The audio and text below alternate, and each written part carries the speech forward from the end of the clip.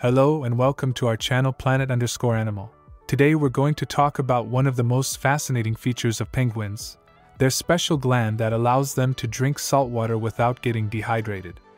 Penguins live in some of the harshest environments on Earth, and one of the biggest challenges they face is finding enough fresh water to drink.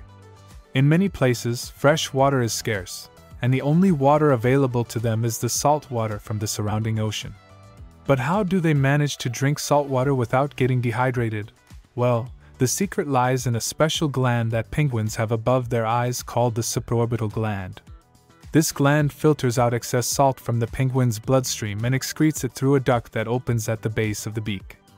This allows the penguin to drink salt water without ingesting too much salt. But how does the gland work? The supraorbital gland is similar to the salt gland found in many other marine birds and reptiles. It's made up of a network of blood vessels and a group of cells that actively transport excess salt out of the bloodstream and into the gland.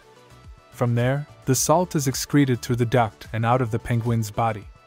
Interestingly, the supraorbital gland is most active when penguins are at sea, where they are most likely to encounter salt water.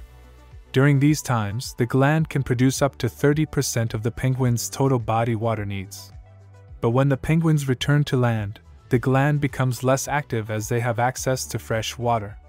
So there you have it, the fascinating mechanism that allows penguins to drink salt water without getting dehydrated. It's just one of the many adaptations that make these remarkable birds so well suited to life in some of the harshest environments on Earth. If you enjoyed this video, be sure to like and subscribe for more fascinating facts about the animal kingdom. Thanks for watching.